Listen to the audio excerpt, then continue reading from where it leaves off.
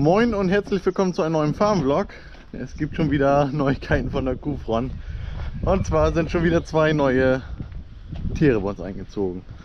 Äh, diesmal habe ich da aber keine Aktien drin, sondern die hat meine Nachbarin zum Jahrestag geschenkt gekriegt und ja, die dürfen hier halt bei uns stehen und wohnen hier quasi. Sind, wie heißen denn jetzt, Mini Highlands oder Mini Kettles ein weibliches und ein männliches. Das eine ist zwei Jahre, das ist das weibliche und gar nicht wahr, das ist ein Jahr und der männliche ist zwei Jahre, wenn ich das gerade im Kopf habe gerade. Genau, er sieht im Moment noch so ein bisschen klein und dürr aus. Wir haben den gestern schon einmal richtig durchgeputzt, da das ganze Unterfell ein bisschen raus, weil das ziemlich zerzottelt war. Und da wollen wir jetzt mal gucken, dass wir da ein bisschen was dran gefördert kriegen. Ja, aber die stehen jetzt erstmal auf dem Paddock, beziehungsweise jetzt den halben Tag. Die standen gestern, ich glaube vorgestern sind sie eingezogen, gestern nochmal einen Tag in der Box. Tierarzt war noch einmal da, weil wir den Kleinen einmal abchecken wollten, ähm, weil der halt so ein bisschen dürr aussah. Hat aber so nichts, was auffällig war. Haben einmal Entwurmung von uns gekriegt und Tierarzt hat noch einmal Selen gespritzt, aber nur bei dem Kleinen, bei dem männlichen. Ja, ansonsten hat sie auch nur gesagt, gut was ranfüttern und dann wird er schon. Ja, das nun mal eben so nebenbei. Und ich will jetzt mit dem, ja, ich habe mir überlegt, mit dem IH los, denn ist noch gutes Wetter und wir wollen unsere Neuanseite jetzt endlich mal aufsehen. Ich war gestern einmal hin, Befahrbarkeit geguckt, ja, teilweise okay, teilweise grenzwertig. Deswegen, ich weiß noch nicht, ob wir alles hingesät kriegen, aber dass wir zumindest mal einen Anfang kriegen, denn es soll morgen Abend schon wieder anfangen zu regnen. Also, ja, wenn, wenn nicht jetzt, dann dauert es wieder, dass wir da hinkommen. Ich war die ganze Zeit schon ein bisschen am überlegen, welchen Trecker ich nehme. Ich war hin und her gerissen. Entweder GT, nee, da ist GT mit Allrad, ob das besser ist und etwas breiteren Reifen oder halt IH äh, etwas leichter mit Zwillingsreifen, aber halt ohne Allrad und dafür Asphalt-Trennscheiben. Ich weiß noch nicht. Ich habe mich jetzt erstmal für IH entschieden. Hab gedacht, wenn ich da doch eine nasse Stelle finde, dann äh, kannst lieber den GT holen und den IH rausziehen. Also ich habe nicht vor, mich festzufahren, aber man weiß ja nie dann kannst du lieber den kleinen Träger rausschleppen, als wenn du den großen da irgendwie reinlegst und dann mit dem kleinen Träger rausziehen ist dann immer ein bisschen kribbeliger. Naja. Genau, deswegen machen wir den gleich mal eben fertig. Mistanhänger ab. Wir haben hier gestern die Raufe auch schon aufgebaut. Da habe ich einen Anhänger Mist noch voll rausgeholt und dann die Raufe hier mit vorgestellt. Wird so auch ganz gut angenommen. Hier habe ich jetzt noch ein bisschen was aufgeschoben. Das passt ja nicht mehr auf dem Hänger, auf dem Hänger weil das schon so schwer war. Ich wollte eigentlich die Tage noch einen Miststreuer bestellen, dass wir den Kram mal eben auseinander streuen. Aber wenn das Wetter jetzt schon wieder so schlecht wird, müssen wir mal gucken, wie wir das machen. Ähm, ich muss noch zum Kartoffelacker. Ach ja, Steine haben wir gesucht. Ich hoffe, das habe ich gefilmt. Ich hoffe. Äh, zum Kartoffelacker noch Flügen, wenn es noch nicht gemacht ist. Gülle ist da jetzt schon einmal raufgekommen. Wurde freundlicherweise schon mitgemacht. Ich hätte gerne noch Mist gestreut, aber wenn es dann jetzt nicht mehr passt, dann ist es auch so, dann dünge ich einmal mineralisch nach. Hauptsache das Zeug kommt rum und die Kartoffeln jetzt endlich mal rein, bevor der nächste Regenschauer kommt. Naja, jedenfalls hier mal eben schnell das Update von der Raufe. Funktioniert eigentlich ganz gut. Einen Ballen haben wir jetzt hier schon ganz aufgelöst. Von der Höhe kommt das gut hin. Die können, wie man sieht, da einmal so unter durchgucken. Aber auch gut überhin. Auch die Kleinen kommen hier gut mit zurecht. Und die holen hier deutlich, deutlich weniger raus, als wenn man da so einen Ballen reinschmeißt, ist ja klar. Also von daher hat sich das eigentlich schon gelohnt. Im Moment fütter ich hier ersten Schnitt so ein bisschen ja, extensiv, was kein Pferdeheu werden konnte, weil da so ein bisschen Binsig drin war. Einmal ein bisschen antrocknen lassen und dann als, ja, ich sag mal, trockenen Silo oder nasse Heulage, wie man das will, gepresst. Ich glaube, halben Messersatz hatten wir da mal. Also ist super Kuhfutter auf jeden Fall gewesen, da gehen echt gut drauf ab. Aber das nur mal eben so nebenbei. So, ich mache den Träger jetzt eben fertig. Ich komme jetzt gerade von der Arbeit, beziehungsweise eben schnell Mittag, äh, Abendbrot gegessen. Und will jetzt sehen, dass ich das da reinkriege. Ich werde die Amazone-Drille nehmen zum Drillen. Ist nicht optimal, ähm, weil die jetzt so weiten Reihenabstand hat. Es gibt auch extra, kannst du bei der Reifeisenbons mieten, äh, eine extra Grasdrille. Die hat halt kürzere Abstände zwischen den Rohren. Ich weiß nicht wie viel, 5 cm oder sowas, schätze ich mal. Ist zwar schöner, aber Gott, für mein bisschen kleinen Kram nehme ich jetzt meine. Ich muss mir noch immer gleich vielleicht auf dem Feld durch den Kopf gehen lassen. Wenn es gut zu sehen geht, habe ich gedacht, ob ich zweimal sehe. Einmal ja, längs und quer oder so ein bisschen versetzt, dass ich die Abstände kleiner kriege. Sprich dann nicht 40 Kilo auf dem Hektar auf einmal, sondern die Maschine auf 20 Kilo den Hektar einstellen und halt zweimal fahren. Dass man die ein bisschen näher aneinander, aneinander kriegt. Aber naja, erstmal gucken, ob wir die überhaupt fahren können. So, ich mache eben schon alles zurecht und dann melde ich mich. So, wir sind jetzt gerade dabei und räumen jetzt unsere Kartoffelfläche vom letzten Jahr, da wo wir vom Roden die Steine rausgelassen haben, die sammeln wir jetzt mal eben auf. Äh, das war letztes Jahr nicht mehr möglich hier von der Befahrbarkeit, deswegen machen wir das jetzt. Jetzt ist es soweit abgetrocknet, dass wir hier fahren können. Äh, wo war das? Da hinten hat er sich der Rode reingelegt, da sieht man da die Spuren noch. Äh, von daher war das letztes Jahr nicht mehr möglich, das wegzuholen. Und nächstes Jahr wäre das Stück nach dahin weiter, da an die Grenze hin. Da machen wir dann dieses Jahr unsere Kartoffeln hin. Normalerweise wollte ich da dann ganz gerne übermorgen noch Mist streuen bisschen Gülle ist ja schon hingekommen. Äh, und dann schon gleich flügen und am besten auch nächsten Tag legen, wenn das irgendwie von der Zeit hin passt. Das Grobe sammle ich so schon mal eben ein und dann mit der Platzschippe eben den Rest händisch wegsortieren.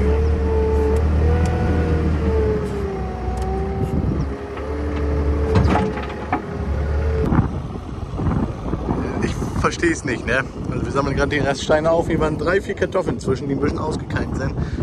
Und dann setzen die ersten zwei Kartoffelkäfer schon drauf. Wie funktioniert sowas? Wie könnt ihr diese drei Kartoffeln finden? Also verrückt manchmal. Jedenfalls, so die Reststeine suchen wir noch auf hier. Und dann haben wir es auch schon. So, Dalle, das haben wir schon mal alles dran. Also Zwillingsreifen dran und meine gute Amazone. Ähm, und jetzt wollen wir die mal eben einstellen. Abdrehen werde ich nicht machen. Und beziehungsweise ich kann erstmal das Akku zeigen. Wir wollen ja Grassamen drillen.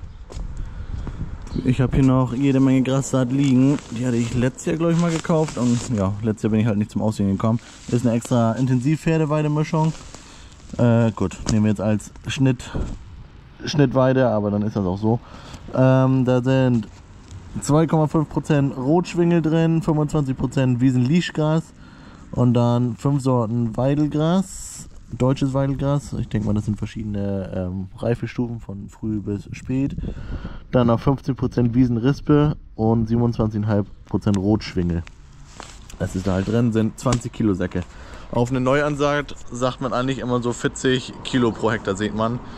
Äh, Nachsaat nimmt man je nachdem, wie löckig und wie gut der Bestand ist, irgendwas zwischen 5 und 10, vielleicht auch mal 15 Kilo, wenn es wirklich schlechte Narben sind.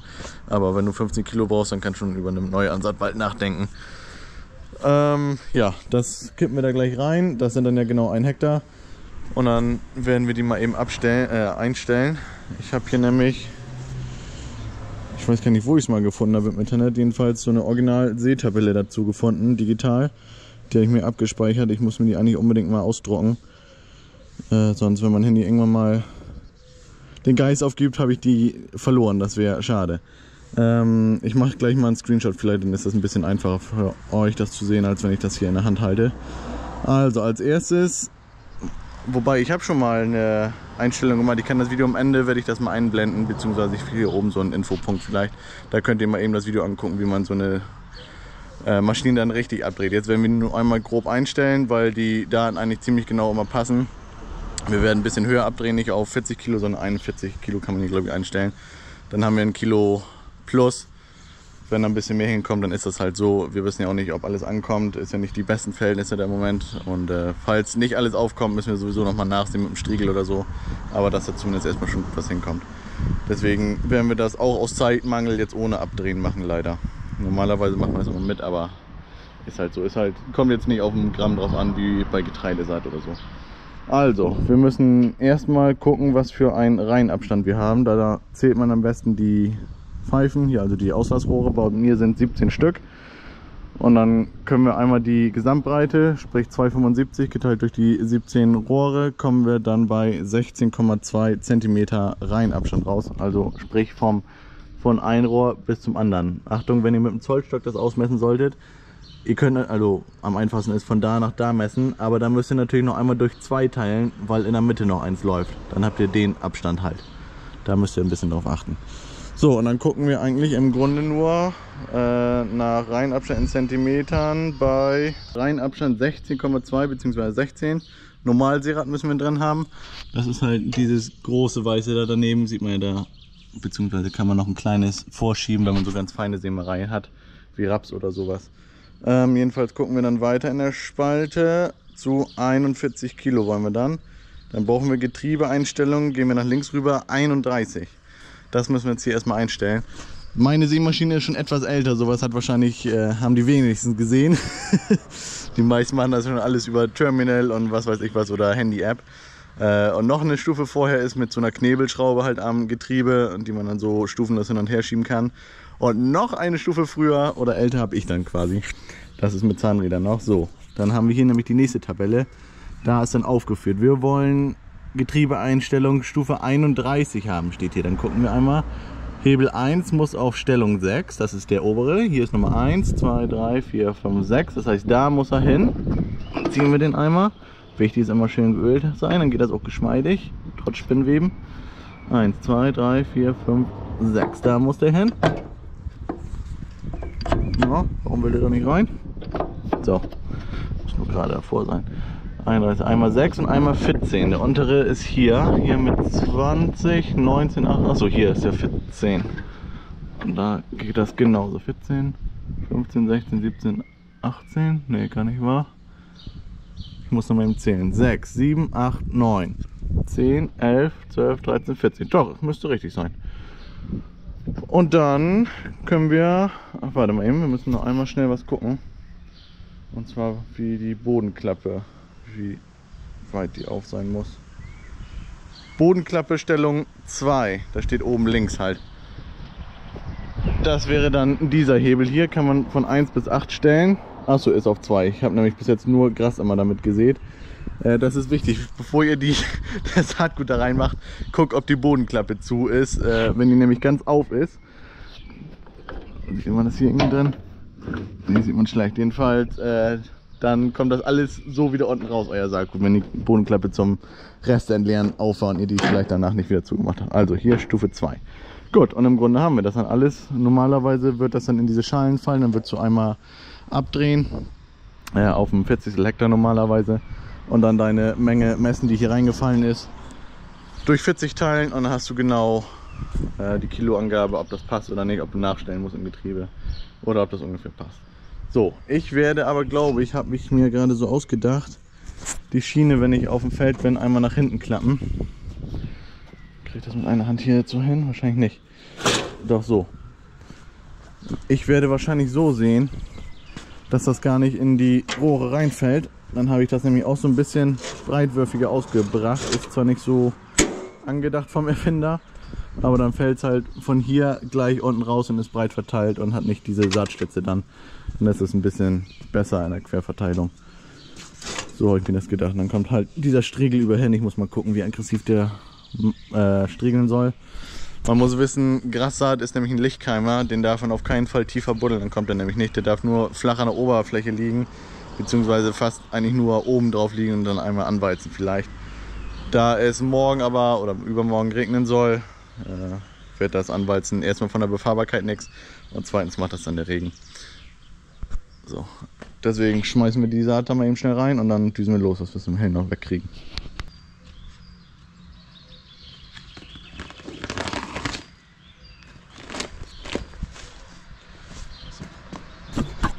Bloß nicht umkippen, das wäre es noch. Wer noch nie Grassaat gesehen hat, so sieht das aus, halt ganz feines Saatgut. Und das wird dann halt ganz dünn ausgesät, ist auch ganz leicht. Deswegen Grassaat ernten ist auch so eine Sache für sich. Allein von der Reinheit her.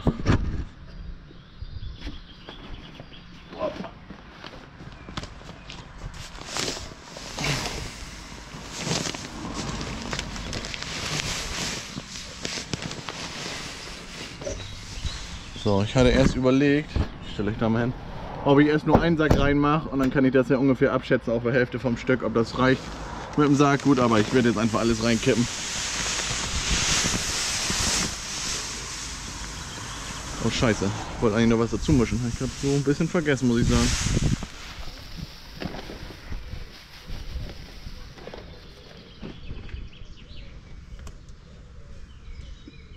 Ich habe hier nämlich noch so ein bisschen Spezialsackgut. Das wollte ich eigentlich mit dazu mixen. Muss mal gucken, wie gut mir das gelingt, nicht dass sie das entmischt. Muss ich mal eben in meine Dunkelkammer. Bevor die Keimfähigkeit da nämlich auch abnimmt, soll das da auf jeden Fall mit rein. Ich weiß gar nicht mehr für wie viel Hektar so ein Beutel war, beziehungsweise wie viel da rauf muss. Habe ich hier noch so. Ja, warte, ich kann das mal eben vorlesen. Kräutergemenge. Das ist alles auf Latein. Scheiße. Nee, muss ich bei DSV auf der Seite sonst gucken. Country Horse 2122 Kräutermenü auf jeden Fall. Ja, Latein weiß jetzt gerade leider nicht, was das alles genau heißt. Auf jeden Fall viele verschiedene Kräuter. Also wenn ihr jetzt riechen, riechen könntet, die Tüte, das ist der Hammer. Machen wir eben eine auf. Steht leider auch gerade und das ist alles französisch. Oder ist das französisch? Weiß ich gar nicht. Oder dänisch? Dänisch wahrscheinlich eher. Ähm, wie viel von der Tüte auf den Hektar muss. Ich glaube eine Tüte auf einen Hektar, das war ein Kilo glaube ich. Scheiße teuer, deswegen will ich hoffen, dass das anwächst. Aber wenn es hier noch länger jetzt rumliegt, dann wird die Keimfähigkeit halt schlechter. Oh, ich muss ein Messer holen. Deswegen drehen wir das jetzt alles mit rein werde ich hier so ein bisschen mit untermengen gleich und dann hoffe ich mal, dass sich das nicht entmischt. So, so sieht der Kram auf jeden Fall aus. Ich habe eben gelogen, 1,5 Kilo sind es. Also auch so ganz feine Saatgut, also ja, von grob bis ganz fein auf jeden Fall. Das werde ich hier auf jeden Fall so ein bisschen mit untermischen. Und dann gucken wir mal, wie viel davon aufkommt. Drei Tüten habe ich davon, eine werde ich jetzt reinmachen und dann gucken wir mal, wenn es aufgelaufen ist, ob wir davon was nachsehen müssen. Zur Not per Hand vielleicht auch ein bisschen was drüber schmeißen. Das will ich auf einer Ecke auf jeden Fall ausprobieren, ob da überhaupt was kommt auf unserem Standort. Das ist ja auch noch die Frage. Ja, ich pack die zweite Tüte eben rein, dann düsen wir schnell los. Das sieht nämlich schon gefährlich nach Regen aus. Also bis jetzt war die Entscheidung, glaube ich, richtig, dass wir den IH genommen haben. Der läuft wirklich gut über, auch wenn es noch irgendwo ein bisschen weicher wird. Äh, Im Moment bin ich noch auf den etwas trockenen Ende, sag ich mal. Da war ich gestern einmal überhin mit einem größeren Trecker, den ich mir geliehen hatte. Äh, und mit einem Grobber. Einmal, wo das hier schon überall so grün geworden ist. Sieht man da vielleicht noch hier überall, da war ich jetzt aber nicht. Äh, einmal ein bisschen aufgerissen, dass auch noch mal ein bisschen mehr abtrocknet. Ich konnte aber nicht überall hin, das waren halt nur die trockenen Stellen, wo ich hin konnte. Da wird es auch so ein bisschen nasser. Ich fahre da gleich mal ein bisschen ran. Da bin ich so wieder rückwärts raus, weil ich da sonst eine Spur gemacht hätte. Äh, ich bin mal gespannt. Ich teste mich mal ran, wie der da überläuft. Da auf jeden Fall am Graben hin war es auch ein bisschen nasser, bin ich mit dem großen Trick auch gar nicht hin. Äh, da kam der eben gerade so gut durch. Klar, Vorderrad ist ein bisschen eingesackt, aber mit dem Zwillingsrad hat er sich schön, also ohne zu wühlen, schön durchgefahren. Mal gucken. Und hier konnte ich einmal ein bisschen grubbern bis da hinten so ungefähr. Hier ist nur so ein bisschen anmoorig. Hier ist irgendwie, ich weiß nicht, ob hier mal Sand hingefahren ist oder so. Da ist auf jeden Fall ein bisschen sandiger. Aber nach hinten, da wird es auf jeden Fall deutlich mooriger und nasser. Da gucken wir gleich mal. Ich mache jetzt erstmal die trockenen Stellen zuerst hier.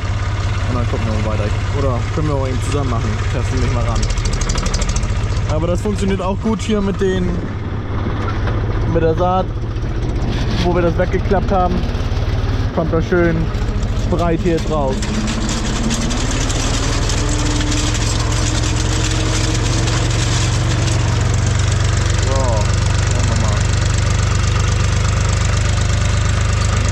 mittig von der Spur, dass wir da nicht genau wieder reinfahren. Ja, der ist ganze Ecke leichter als der alte Trecker, also der andere, den ich hier gefahren bin. Da macht man gar keine Spur mit, das gefällt mir. Das ist schön so. Dann kriege ich vielleicht auch noch alles aufgesät hier.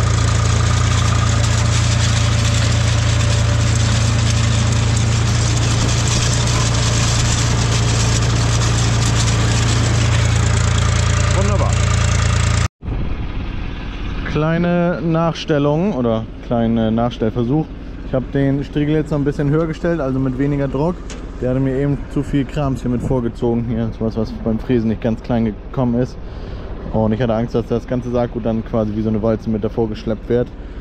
Deswegen habe ich den noch einmal ein bisschen höher, mit weniger Druck gemacht und den, die Schiene habe ich jetzt festgebunden, weil die durch die Vibration manchmal nach vorne gegangen ist und dann ist es doch hier in die Tüten gefallen. Ist nicht mega schlecht, aber äh, breit verteilt ist schöner.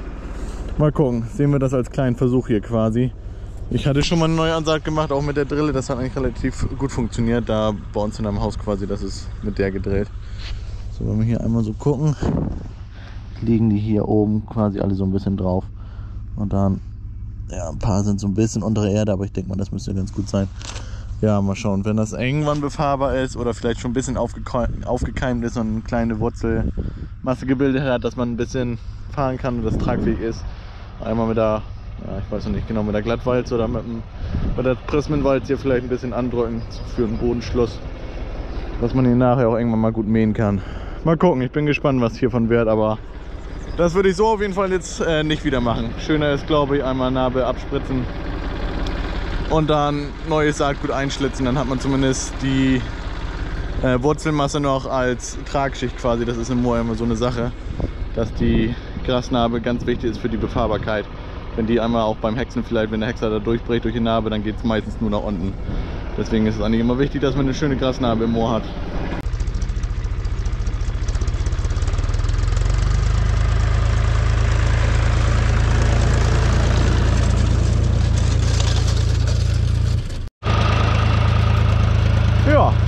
Läuft doch gut. Das kann gerne so bleiben. Also, klein IH hat immer noch seine Daseinsberechtigung. hoffen, dass das alles schön ausläuft und äh, dass wir hier dann irgendwann ja, zweiten Schnitt mit Glück ernten können. Wir sind gespannt. Hoppa. Und sowas sammeln wir natürlich gleich raus. Da wollen wir nämlich nicht mit Mähwerk raufrummeln. Aber warum hier Steine liegen, weiß ich auch nicht. Ja, wie gesagt, weiß nicht, ob hier wirklich einer mal was reingefahren hat. Kann ich schlecht sagen. So, packen wir die hin. Irgendwo, wo wir sie gleich einsammeln können. Die Gruppe ist zwar auch nicht so schön, aber ich habe jetzt gerade keine Kiste mit oder irgendwie sowas. Muss wir nur dran denken, dass wir die nachher mit zum Feldrand nehmen, nicht, dass wir dann nächstes Mal mit der Gruppenfräse irgendwie reinrummeln. Das wollen wir auch nicht. Aber die Zwillingsräder machen es echt. Das ist echt Wahnsinn. Ab und zu sind hier so ein paar kribbelige Stellen, hier auch. Äh, da war es einmal richtig nass, sieht man ja schon ähm, an der Gruppe. Ähm, da musste echt schon die coolen Sämaschine ein bisschen angelupft, aber so, dass er noch weiter mit gedrillt hat. Äh, Differential ran und halt ganz langsam, ne, dass die Räder nicht durchdrehen. Ja, das ist ja komisch. Äh, Räder nicht durchdrehen und dann kann man da schön langsam, ohne einen Flurschaden zu machen, weiter. Aber ich glaube, mit dem GT hätte es nicht so geklappt, also ich glaube, richtige Entscheidung. Na, wenn ich das hier so sehe, müssen wir doch auf jeden Fall einmal vormähen, beziehungsweise wenn irgendwie Befahrbarkeit da ist, einmal irgendwie anwalzen. Zumindest, dass die Steine erstmal wegdrücken, das ist fast das Wichtigere. Hier liegen irgendwie jede Menge. Die wollen wir nicht im Mähwerk haben. Ah, passt leider doch nicht ganz mit meinem Saatgut. Da hinten muss ich noch einmal lang, da das letzte Stück.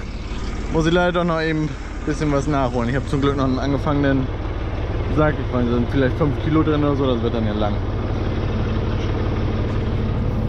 Ist halt so. Da mal lieber ein bisschen mehr als zu wenig. Und wenn hier doch noch ein paar Vögel vielleicht kommen und ein bisschen Saat mitnehmen, dann ist das so.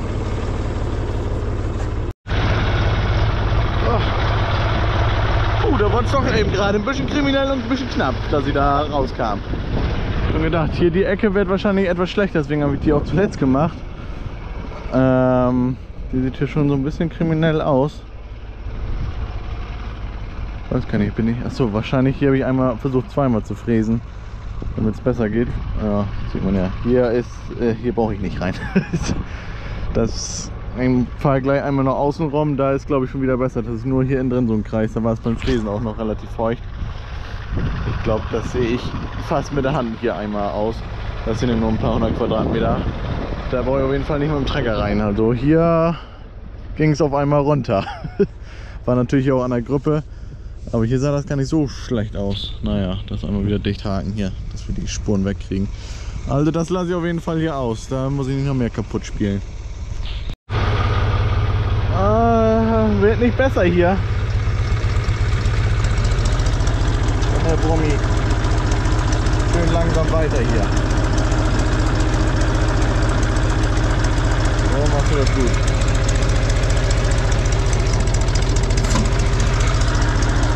Keinen Notanruf hier noch haben.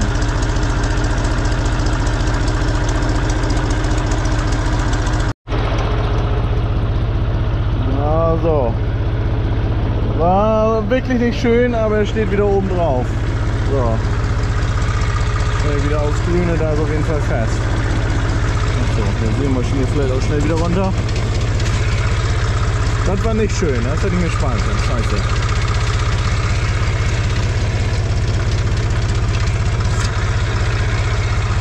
Naja, aber ich glaube, GT hätte ich da ganz reingesetzt. Da wäre ich nicht alleine rausgekommen.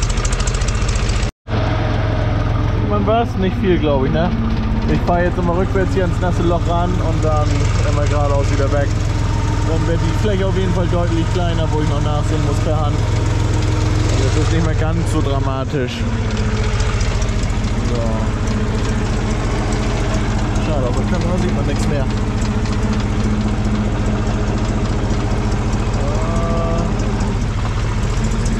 Gucken, nicht, dass ich jetzt scheiße baue, wenn ich vor die Kamera anbringe. Ja, hier wird schon schwieriger. Hier bleiben wir mal lieber. So, runter.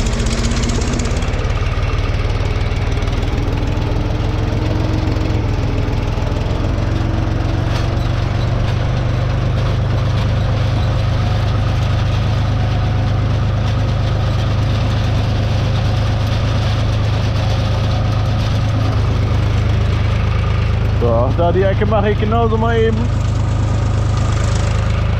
Hier noch einmal hoch und wieder runter und dann habe ich es auch. So, nächster Tag. Ähm, wir haben den, oder was heißt wir? Ich habe den GT schon mal eben vor dem Pflanzer gebaut. Luft muss ich gleich noch eben aufpumpen, das ist leidige Thema.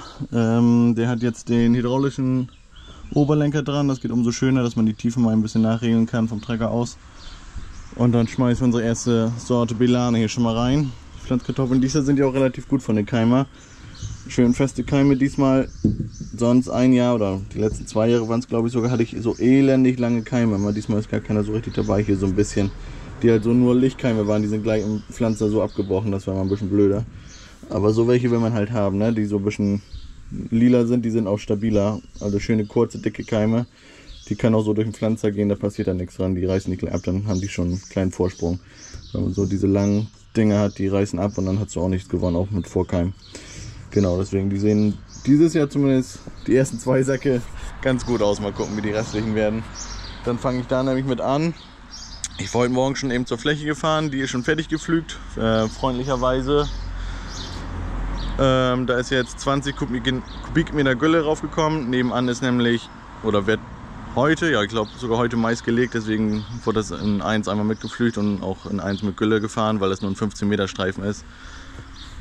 Ähm, lohnt es sich nicht, dass ich da jetzt irgendwie noch mit zum Flügen hinfahren. Der war da sowieso gerade in Gang, hat das freundlicherweise eben mit rumgemacht. Ähm, ja, das Einzige ist, ich habe jetzt leider kein Mist hingekriegt durch Wetter und jetzt halt keine Zeit. Ich muss mal gucken. Wahrscheinlich werde ich dann mineralisch einmal was nachstreuen. Wäre natürlich schön, hätte man hier äh, Unterfußdüngung. Da könntest du untere Pflanzen bzw. neben den Pflanzen gleich was hinlegen. Aber Gott, ist halt so. Müssen wir da so irgendwie mit dem Düngerstreuer einmal hinbringen. Ähm, oder hat schon mal jemand Mist in eine Dämme aufgebracht, also oben drauf. Äh, das würde mich sonst auch interessieren, wenn man einen schön verrotteten Mist oben raufbringt und dann beim ersten Häufeldurchgang einmal einhäufelt. Vielleicht hat das jemand schon mal gemacht und kann berichten. Da bin ich um Tipps und Ratschläge äh, dankbar. So. dann kippe ich meine Kartoffeln hier weiter rein und melde ich mich. Wir sind da an unserem diesjährigen Kartoffelacker. Im Moment nur geflücht, aber da hinten ist der Case gerade. Und mit, der, mit dem Federzinken Grubber. Mal gucken, wenn er so lieb ist, Grubber nimmt mir das vielleicht noch einmal mit durch. Letztes Jahr hatte ich zwar auch einen Teil ins Geflüchte einfach so reingelegt als kleinen Test. Da konnte ich jetzt nicht so sehen, dass das irgendwelche Nachteile hatte. Ich ja, konnte jetzt nicht sehen, dass es schlechter zu legen ging oder Kartoffeln schlecht oder so. Ähm, aber wenn das einmal mit überziehen würde, wäre umso besser. Dann ist das etwas gerade. Man sieht hier noch so ein bisschen die Wellen vom Flügen. Ansonsten ist auf jeden Fall ja, zu trocken ist nicht, aber schmiert auf jeden Fall zum Glück nicht mehr. Das darf man nämlich nicht die da reinschmieren. Aber noch Feuchtigkeit, so dass wir hoffentlich schnell auskeimen können. Ja. Wird hoffentlich gehen. Ähm, was wollte ich noch erzählen? Achso, ich hatte mir auch im Winter überlegt, oder ja, im Hinterkopf gehabt, wenn man genug Zeit hätte und es trocken genug wäre, ob man das einmal schon vor dem Pflanzen angehäufelt hätte und einmal mit dem Roder quasi die Steine rausgesiebt. Ähm, ja, weil Endsteiner lohnt sich nicht, zu kaufen überhaupt nicht und äh, hier in der Gegend haben nicht viele welche und wenn sind die meist auch unterwegs und für so einen halben Hektar kommen die meisten auch nicht raus. Äh, hat das schon mal jemand ausprobiert? Ich meine, ist natürlich auch äh, deutlicher Verschleiß für einen Roder. Oder sagt man, dann kann man auch lieber gleich beim Kartoffelroden die Steine daraus sortieren. Jetzt wird man halt ein bisschen langsamer, hat man einen Arbeitsgang gespart. Keine Ahnung. Kann vielleicht ja auch jemand berichten, falls das jemand schon mal ausprobiert hat. Naja, wir warten mal eben, schnacken gleich mal eben, was er sagt, ob er das hier auch mit durchgrubbern würde. Und dann fangen wir an zu legen. Achso, nochmal eben schnell, äh, wie viel wir legen. Also das sind jetzt 15 Meter von der Kante darüber und danach kommt Mais. 15 Meter, wir legen ja in 75er Reihenabstand, sind dann ja quasi 20 Reihen. Und da wir vierreich legen, sind 20 Reihen dann 5 Legebreien. Also ja, dreimal hoch und zweimal runter. Und dann haben wir es auch schon. Dann sollte das genau hinkommen mit den 15 Metern.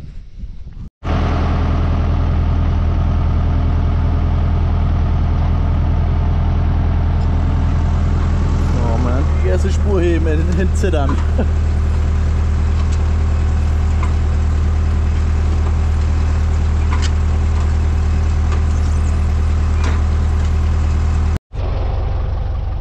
So, dann wollen wir mal gucken.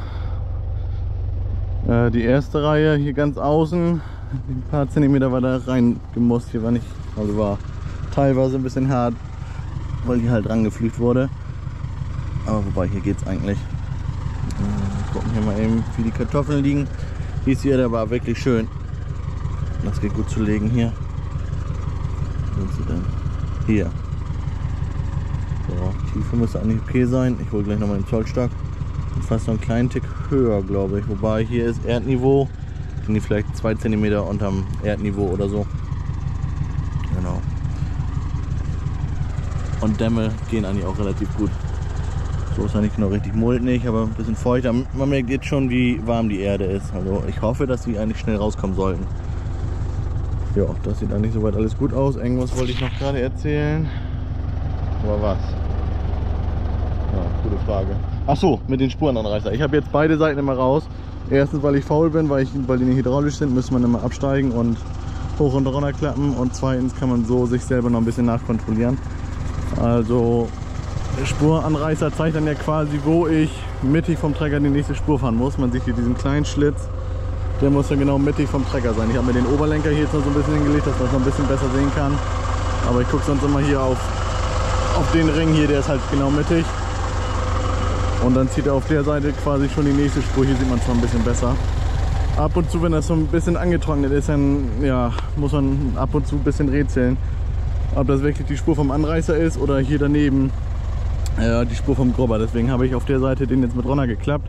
Da kann man ab und zu ein kleines Auge dann mal raufwerfen. Der muss dann halt genau mittig, so wie jetzt, zwischen den Dämmen laufen. Dann ist man genau richtig. Von daher passt das bis jetzt alles. Dann pflanzen wir die Reihe noch einmal runter und wieder hoch. Dann haben wir unsere drei Reihen. Dann mache ich einmal alles sauber. Beziehungsweise dann fahre ich noch mal eben zu einem anderen. Der hatte gefragt, ob ich da auch noch einen Hektar eben mitlegen kann. Den schmeiße ich dann da eben rein, hat auch Belana. Und dann mache ich die Maschine sauber und pflanze meine Gloriette und dann sind wir auch schon fertig. Ist immer schnell gemacht mit dem großen Pflanzer. Leider. Also ich könnte noch ein bisschen mehr legen, hätte ich Bock zu. So, dann legen wir noch schnell welche in Lohn rein. Bei mir habe ich mir da einen hingezettert, voll die schiefen rein. Ich glaube, ich habe noch nie so schief gelegt. Und hier geht es einigermaßen.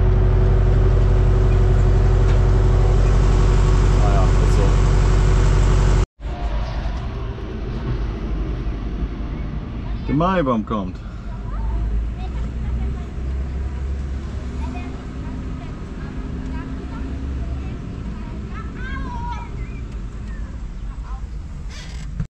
So, nächste Tour. Ähm, wie ihr eben gesehen habt, oder ja, vielleicht auch nicht, bin ich wieder dem Hof. Ich habe eben einmal wieder voll gemacht. Ich habe eben nur den Auftrag in Lohn abgewickelt, weil ich vorher Belana gepflanzt und er hat auch Belana gepflanzt. Dann musste ich den Leger nicht ganz sauber machen. Dann konnte ich halt erst das fertig machen. Hab den hier einmal sauber gemacht und jetzt nächste Sorte. Und zwar pflanzen wir jetzt Gloriette einmal. Und dann haben wir es auch schon. Äh, Gloriette wird doch ein bisschen mehr als zuerst gewollt. Ich bin mit der Bilana nicht so weit hingekommen. Ich weiß nicht, vielleicht waren die Größen etwas größer, dass das insgesamt vom Gewicht her äh, schwerer war ja, und weniger Knollen quasi. Da wollte ich eigentlich drei ganze rein haben und zwei von denen jetzt ist ja zwei, zwei ein Viertel vielleicht von Bilana. Und der Rest wird jetzt mit Glorietta, dann ist das aber auch so. Schmecken auf jeden Fall auch gut. Normalerweise wollte ich auch gerne Prinzess ausprobieren, aber da konnten die leider kein Saatgut rankriegen. Ähm, das war sowieso schwierig dieses Jahr mit Saatgut, muss ich sagen. Ähm, Red Fantasy hatten wir letztes Jahr ja, das sind die rotschaligen, die schmeißen wir aber ganz aus dem Programm. Die liefen im Haus nicht so gut und dafür jetzt extra noch, äh, ja, muss ja ein extra Lager natürlich. Und dann noch extra gesondert rodern und so und ja, haben wir uns jetzt den Aufwand nicht gemacht, deswegen fliegen die aus dem Programm. So, dann klöder ich nochmal wieder hin. Und dann werden wir gleich schnell Maibaum aufstellen und grillen kriegt so hoch, ne? Ja. Wollte ich sagen, mal kein Quatsch hier jetzt. Klappt den Bunker ein bisschen ran. Ein bisschen mehr Gewicht nach vorne kommt. Oh, geht aber. Hoch kommt er nicht. Aber ich muss auch nicht so weit über die Straße. So, dann setze ich hier gleich wieder rein. Wie gesagt, also ich glaube, ich habe noch nie so krumme reingefahren. Das ist äh, peinlich eigentlich schon. Naja. Ja, hier habe ich aufgehört, da so. Da fahre ich jetzt hin, lasse 2-3 Meter Platz, da stecke ich nachher eine Stange rein, dass ich weiß, wo der Übergang ist. Und dann pflanzen wir halt weiter.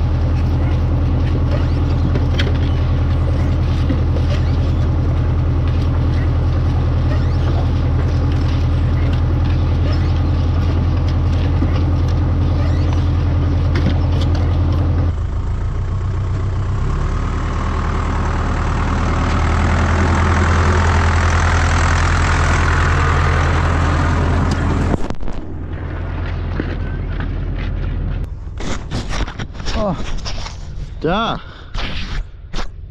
Glück habe ich. dachte schon, die wären mit dem Damm gekommen. Puh.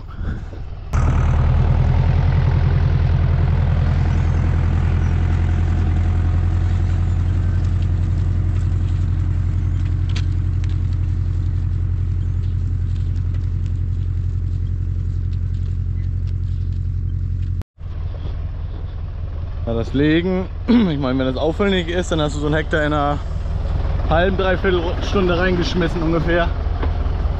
Nur das olle Film, das hält so auf, ne? Das dauert so lange. Aber naja. Ja, für einen selber sind das finde ich auch immer schöne Erinnerungen. Gucke ich mir selber auch ab und zu gerne wieder an, muss ich sagen, so alte Videos.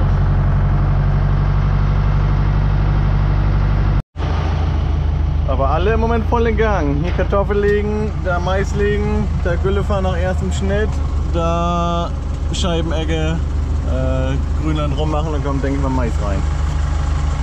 Volle Pulle.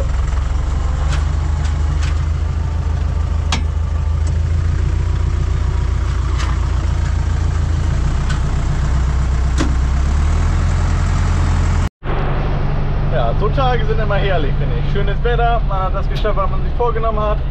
Kann jetzt noch pünktlich zum Maibaum aufstellen. Oh, langsam hier. Ähm, ich kann die erste Mischung fand schon fast schmecken. So, schnell unter der Dusche und dann ab zum Grillen.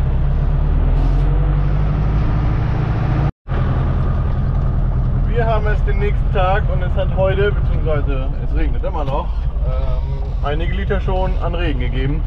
Also vom Timing her alles gut. Kartoffeln schön in der Erde gekriegt. Kriegen die schon gleich ein bisschen Wasser dazu. Dann sollen die hoffentlich gleich losgehen. Ähm, ja, ich habe jetzt den Kartoffelleger gerade eben abgebaut vom BT. Weil ich jetzt den Roder eben unter Dach schieben will, beziehungsweise eben einmal laufen lassen will. Abschmieren, so eben alles durchgucken und dann soll er in metrische Schuppen rein. Dann, wenn ich vom Waschplatz endlich wieder Platz habe, dann wasche ich den Kartoffelleger nämlich, die alten Kartoffeln da raus, den Rest. Und dann will ich normalerweise, wenn es noch nicht ganz dunkel ist, die Seemaschine auch noch waschen und leer machen, dass das alles vom Zettel ist und dass wieder alles zurückgestellt werden kann. Mal gucken. So, Roder habe ich dran. Äh, ich habe den einmal so grob übergewaschen, jetzt eben einmal laufen lassen. Deswegen ist er jetzt natürlich noch wieder dreckig geworden, weil der ganze Scheiß aus Ecken und was angetrocknet war, jetzt wieder runtergekrümelt ist. Allerdings habe ich was nicht Erfreuliches gehört. Irgendwo hier drin knirscht das so ein bisschen. Ich vermute, dass hier eine Kette hinter sitzt, dass der den Antrieb, ah, das ist, müsste der Antrieb fürs Rad sein, dass der hier rüber geht und dann mit der Kette von da abgreift. Ähm, und irgendwo hier hat das ein bisschen geknirscht, warum auch immer. Also, als wenn das immer so alle 10 Sekunden einmal ein bisschen überspringt. Deswegen wollte ich den Kasten einmal aufmachen. Ich hoffe und denke, dass das einmal, ja, das ist ja eine Hälfte hier, die man dann so wegziehen kann. Ich ziehe die Schrauben hier jetzt alle einmal und dann hier die Klappe hoch und dann hoffe ich, dass ich das Blech hier vorwegkriege und da mal reingucken kann. Eine Schraube habe ich schon los und das sieht gar nicht mal so schön aus. Also läuft scheinbar eine Kette drin, die auch schon ein bisschen gefressen hat und das nicht seit gestern erst. Ja, deswegen wird es vielleicht mal Zeit, dass man da reinguckt. Hm, also ich hatte den Roder jetzt sowieso ja ein Jahr erst in, in Benutzung. Den haben wir erst neu Gebrauch gekauft. Deswegen habe ich noch nicht überall nachgeguckt. Aber das äh, sollte man vielleicht mal tun. Ich habe sowieso noch ein paar Baustellen, die ich machen muss. Einmal hier die Walze, die muss eigentlich neu. Die ist runter, sieht man ja, da ist sie schon total ausgeflattert vom Krautband so ein paar Abstreifer müssen hier neu. Und was ich gesehen habe, hier die Walze ist durch. Opa. Ja, hier ist alles noch dreckig, weiß ich. Hier, die löst sich so langsam auf. Die müsste einmal neu und ich habe auch den Eindruck, dass sie ein bisschen schief steht. Dass sie deswegen auch mit aufgegangen ist. Da ist das Lager, denke ich mal, nicht mehr so tipptopp. Ich muss mal gucken, ob ich die irgendwo finde. Dann kommt das auf jeden Fall neu. Und was ich eigentlich gerne vielleicht noch haben würde, geht auch ohne, aber falls jemand sowas liegen hat, eine Dammrolle für den Roder. Mit ist doch irgendwie schöner. Klar, geht ohne Roden, also ohne Dammrolle auch, aber dann hast du eine etwas bessere Bodenführung halt, wenn du die drin hast. Sonst musst du mal mit dem Steuergerät immer gucken, dass du die richtige Tiefe hast und so stellst du ihn einmal ein. Aufnahme runter und auf geht's. Was ist das? Wo kommt das her? Ich gleich mal gucken. Naja, ich tüdel den Kram nochmal eben auseinander und hoffe, dass da keine zu böse Überraschung hinter sitzt. Auf hätte ich schon mal, aber auf den ersten Blick sieht es jetzt gar nicht so verheerend aus. Also klar, dreckig auf jeden Fall. Das werde ich gleich mal sauber machen. Hier sitzt jede Menge Schmock drin. Äh, das einzige, was ich noch nicht genau weiß, hier war so eine dicke Mutter vor. Wie so eine Ablassschraube sah das aus, aber ich habe leider keine Betriebsanleitung. Falls einer von euch noch eine hat, ähm, möge mir irgendwie die gerne schicken. ähm, ich weiß nicht genau, ob hier Öl rein muss, ob die im Öl laufen muss, die Kette so ein bisschen zum Schmieren, dass hier. Aber kann ja auch nicht, oder? Weiß ich nicht. Können wir schon die nächste Schraube, da ist ja auch keine Dichtung vor, nix.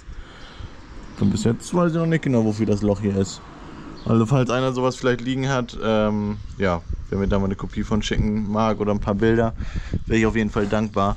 Ansonsten wüsste ich jetzt noch nicht, was hier so übergeknallt hat. Der Kettenspanner sitzt hier. Der sieht eigentlich noch relativ gut aus, hoffe ich. Ich weiß natürlich nicht genau, wie groß er vorher war.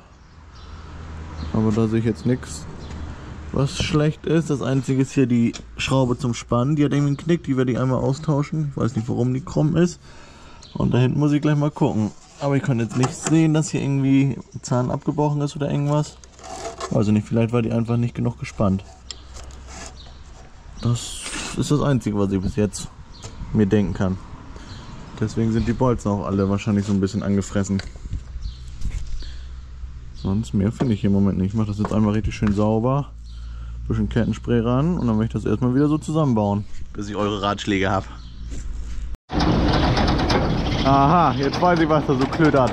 Ich habe es mal eben so halbwegs schnell zusammengebaut, dass ich mal eben reingucken kann beim Laufen. Das ist einfach nur der Kettenspanner, der oben gegen die Spannschraube schlägt, weil der ein bisschen Luft hat, weil die Schraube nicht weiter nach unten geht, weil die krumm gebogen ist. Also eigentlich nur Spannschraube auswechseln gegen eine gerade neue und dann soll es nicht mehr klödern.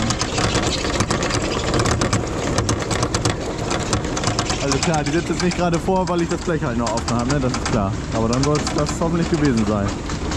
Dann kommen wir zum nächsten Problem. So, einmal neue Schraube. Ist, oh, hätte ein Ticken länger sein können, aber viel mehr will ich die auch gar nicht spannen. Also eigentlich zwei Umdrehungen kann ich noch. Und dann ist sie wirklich sehr Kette stecken und so soll das gehen. Und schon ist Kühl dann weg. Wunderbar. So, gleich, oder? Gerade kurze Regenpause, beim Roder mache ich gleich weiter. In der Zeit fütter ich schnell die Kühe. Aber ich muss sagen, mit der Raufe gefällt mir das sehr gut, muss ich sagen. So, jetzt haben sie wirklich...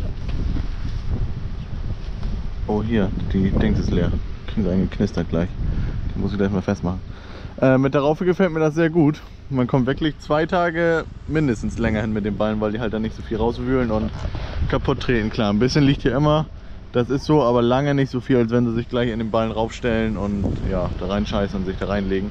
Also von daher ist es echt wirklich super und sieht man ja, von der Größe passt das scheinbar auch.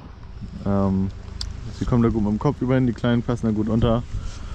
Ähm, und von der Länge passt das scheinbar auch. Wir haben jetzt zweimal ein bisschen was rüber geforkt.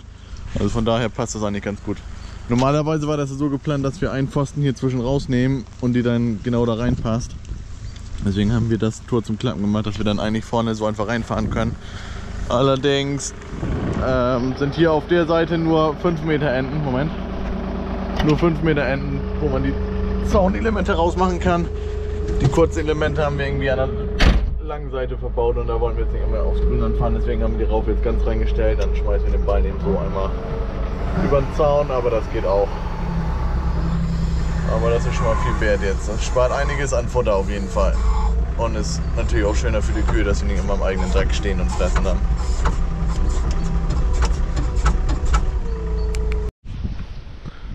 Ja, so sieht es jetzt aus, wenn da ein Ballen drin ist. Für den Anfang reicht es erstmal. Die verteilen das jetzt so ein bisschen nach links und rechts, dann kriegen die Kleinen hier auch ein bisschen besser was ab. Von daher passt das. Oben kommt dann noch Trapezbleche drüber, auch wahrscheinlich ein bisschen länger, dass sie nicht ganz so im Regen stehen, dass ja, halbe, dreiviertel Kuh dann trocken bleibt. Und dann passt das, denke ich mal, erstmal fürs Erste. Achso, und falls einige sagen, ich soll den Ballen lieber hochkant hinstellen, dann haben die Kühe das leichter zum Abrollen. Äh, das ist richtig. Allerdings, weil es jetzt halt gerade regnet, habe ich den so hingestellt, dass es nicht alles in der Stirnseite reinläuft und der warm wird gleich, weil die halt ein paar Tage da dran fressen, dass er dann nicht gleich gammelig wird. So, Regen ist halbwegs vorbei. Aber auf so einem Roder kann man ja ewig und drei Tage rumwaschen. Ne? Da kommt ja immer wieder irgendwo was zum Vorschein. Aber naja, ist so. Ein, zwei Sachen sind mir dann auch noch aufgefallen, was wir noch machen müssen. Und zwar hier einmal das Brett, wo die Kette drauf läuft. Das kann einmal neu. Hier schon lose und nicht mehr ganz gut vorne. Geht es noch einigermaßen. Und hier ist, ich denke mal, dass hier auch eins hingehört, gar keins mehr. Genau, drüben ist auch eins. Das, ja, läuft einmal ganz hier rüber normalerweise. Ach so, das soll ein ganzes durchgehendes Brett sein. Ja, siehst du, dann muss das auf jeden Fall neu. Das existiert nämlich so gut wie gar nicht mehr. Ähm, was habe ich noch gesehen? Ähm, achso, der eine Zylinder, der war so ölfeucht. Muss ich mal gucken, ob das aus der Verschraubung kommt oder ob der neu abgedichtet werden muss. Beziehungsweise wie viel das überhaupt ist. Muss ich ein paar Mal hoch und runter machen. Ähm, ja, die Rolle habe ich gesagt. Ja, ich glaube, das war das Gröbste dann, glaube ich. So, schon ein paar Tage später. Ich sitze nämlich gerade am Schneiden und mir ist gerade so aufgefallen, dass ich gar kein Outro gedreht habe. Ähm, ja, Roder haben wir soweit, naja, fertig gemacht. Ein paar Baustellen haben wir ja noch, aber da wissen wir schon mal, wo wir dann angreifen müssen. Ähm, aber ich würde sagen, das soll es für diesen Vlog gewesen sein. Schon fast, ja, nicht ganz in Röpers Länge geschafft, aber äh, für unsere Verhältnisse schon relativ lang. Ich glaube, Stunden haben wir fast voll gekriegt. Ähm, das lief halt so hin. Diesmal ging das ganz gut. Aber gut, Arbeit kommt jetzt immer mehr und mehr, wenn das Wetter besser wird. Ich denke mal, dass wir irgendwann, wenn die Zeit das erlaubt, vielleicht auch schon wieder auf zwei Vlogs die Woche gehen, wenn ich das vom Schneiden her schaffe und so von der Arbeit auch. Aber werden wir sehen. Äh, ich kann ja schon mal ein bisschen vorspoilern. Nächsten Vlog müssen wir auf jeden Fall Kälber einmal ausmisten. Was machst du da hinten? Schläfst du? Scheint so. Die matschen das hier schon so langsam durch, vor allem wo die hier vorne mal trinken. Wollen wir die einmal ausmisten und neu machen, äh, bis der Zaun endlich kommt. Dann habe ich auf jeden Fall auf dem Zettel, dass wir den dicken da einmal rausholen, den 611er, dass wir da schon mal die Schwingen abbauen, die Frontladerschwingen. Und ja, den ganzen anderen Kram, den wir jetzt im Block nicht geschafft haben, Seemaschine waschen, Kartoffelleger waschen, sauber machen und allen anderen Kram noch. Und dann gibt's, schaffe ich das in diesem Vlog? Mit Glück ja noch eine ganz große äh, Überraschung, aber da könnt ihr noch grübeln und gespannt sein. Deswegen sage ich jetzt erstmal Danke fürs Zusehen. Guckt in den nächsten Vlog mit rein und sehen wir uns frisch und munter im nächsten Video. Bis dahin. Ciao.